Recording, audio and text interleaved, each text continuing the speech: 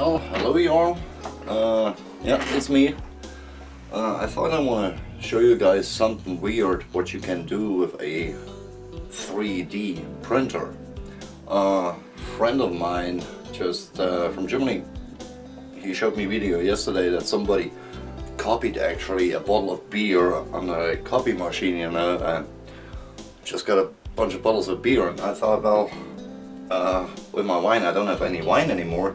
Maybe it works also if I just gonna grab a photo of the internet and have it with my 3D printer. So let me show you what I came up with uh, just using normal Bing search engine. Uh, looking for Sutter White Zinfandel, maybe a little.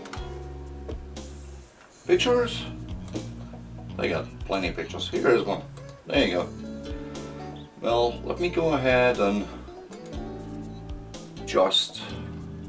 No, I have to save that first. Save image. Okay. I got that. Now I need to open this one up so I can print that. So my pictures and here is my little Sutter. Boom. There it is. I'm gonna print this one on that printer. Now. Uh, okay. Print. Uh, of course, best quality. Always. And let's print that. Right here.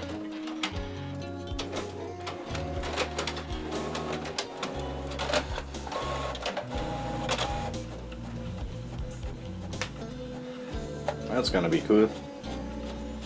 Nice.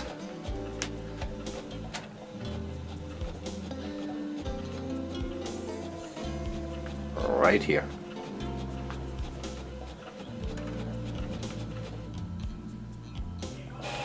Ta-da! Well, that was easy.